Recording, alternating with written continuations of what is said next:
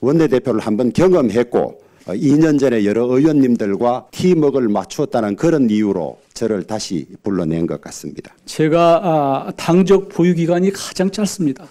윤심 때문에 상당히 헷갈리셨을 것 같습니다. 저는 윤심 뭐 인지 우리 권심인지 잘 모르겠습니다.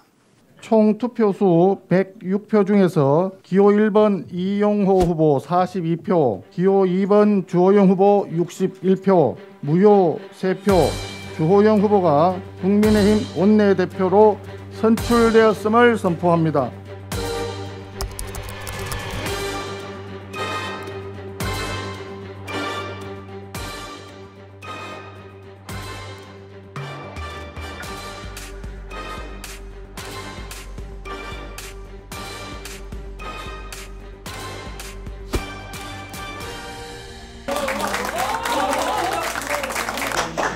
이용호 의원님의 그 용기 있는 결단 아, 감사드리고 환영합니다.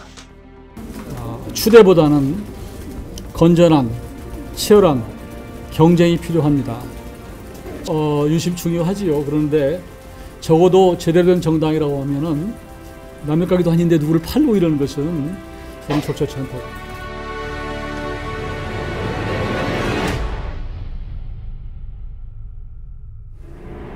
윤심 뭐 인지 우리 권심인지 잘 모르겠습니다.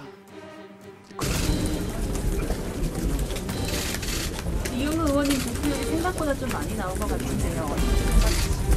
어, 저도 요, 이용호 의원이 선전하셨다고 생각을 하고요.